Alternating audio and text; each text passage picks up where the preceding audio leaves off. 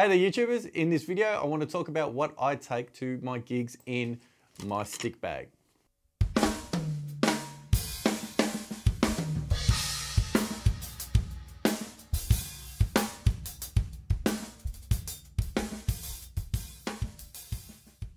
So this isn't some kind of crazy thing where you're gonna find some odd stuff in my bag. This is literally what I take as a working musician to my gigs with me, whether I'm playing interstate, internationally, or locally. This is what you would find every time without doubt in my stick bag. So the first thing we're gonna do is we're gonna look at the front pocket. So in the front pocket, what do I have in here?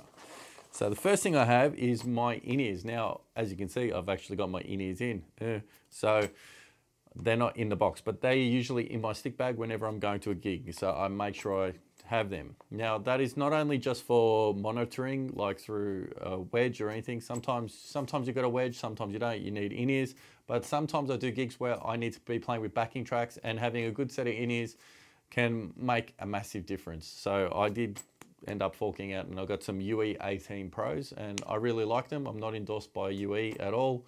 Maybe one day, who knows, but uh, they're awesome. They're expensive, but they are awesome. I've also then got a lead that goes along with those, an extension lead. So having an extension lead can really make you a lot more comfortable on the kit because there is nothing worse than being stuck with a short lead to a mixer and you almost feel like, oh, I can't move from this thing and you have to play like this. So having that extra room so you can be free and move around makes a massive difference.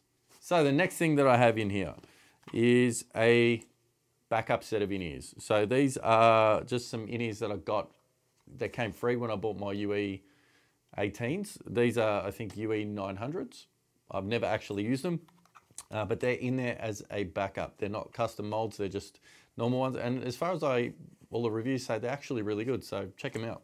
So next I've got a whole bunch of drum keys. Now, I say a whole bunch, there's two there now, but usually I've got anywhere from one to six drum keys in there. So you might think having six or so drum keys is excessive.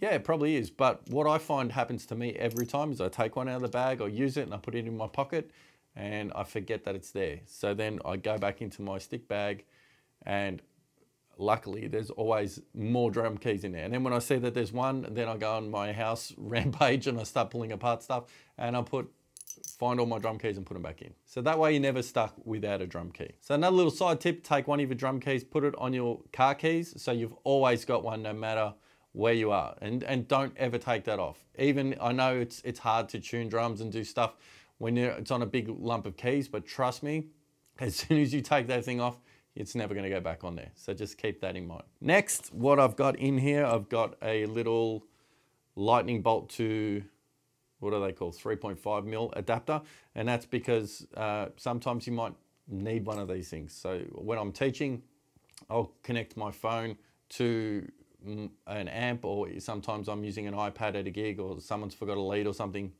and the uh, device may not have a jack being an Apple device and it's just handy to have one of these around. Okay, the last thing in that pocket is a little splitter. It's an aeroplane adapter splitter. So having one of these things can be a lifesaver because there's nothing worse than going on a long flight, sitting down and going, oh, I'm only getting one side out of my headphones. So having this thing will make your life better. So putting your in-ears in that you spent a lot of money on is much better than those cheap $2 headphones they give you on a flight. So having one of these is very, very handy. Now onto the big compartment, the main compartment, what I've got in here. First thing is a pair of brushes. So I have had these brushes for about five years and I'm telling you that I do actually use these quite a bit and they still look and feel brand new. Mainly because I always make sure I put them away when before I put them in a bag. It's very, very important and try not to twist the bottom. Super, super important not to do that. Thing I love about these ProMark ones though uh, is the rubberized handle. It's not only grippy, but when you want to do some cymbal rolls and stuff like that, they're very, very handy. I don't tend to have mallets in my bag, but I find that these can really make up the difference between having a mallet if I want to do a cymbal swell without having that stick attack on it. Can give you that kind of mallet kind of thing. So these are awesome.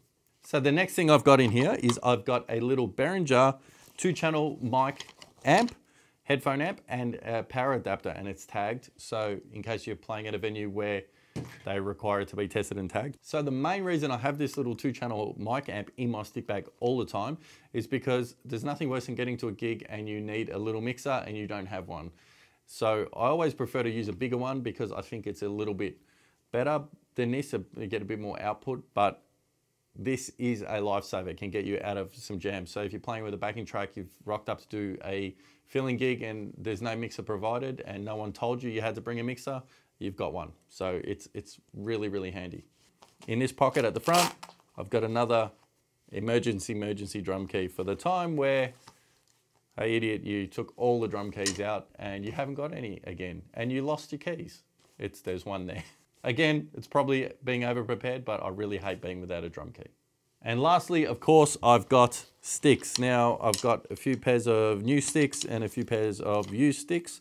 And the ones that I've used is I put a little mark on the top. So it's just something I like to do because I'll, when the sticks are matched in the bag, rather than try and play with something that's a little bit off and just grabbing a pair of sticks. To me, there's nothing worse than having one stick really heavy and one stick really light.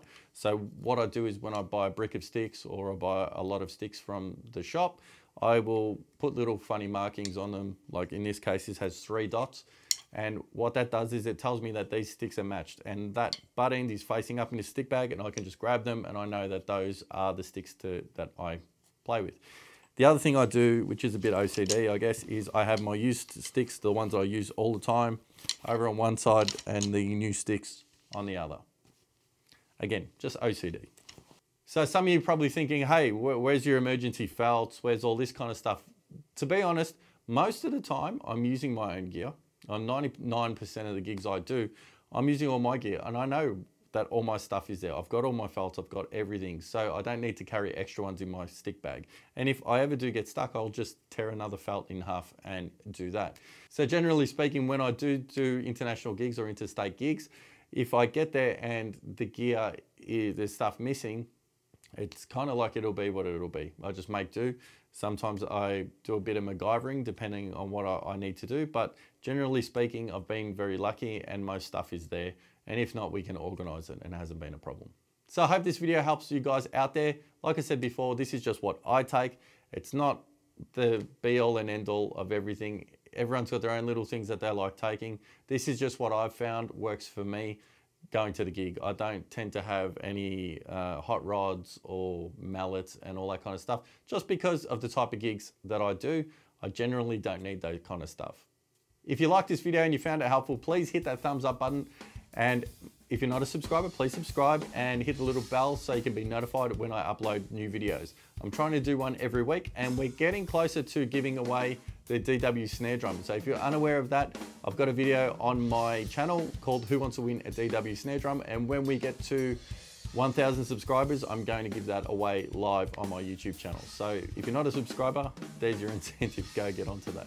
If you would like some more in-depth lessons, please check out my website, www.in2drums.com. You'll be able to find a link right below in the description. So there you go guys, hope this video helps you. Until next time, happy practicing.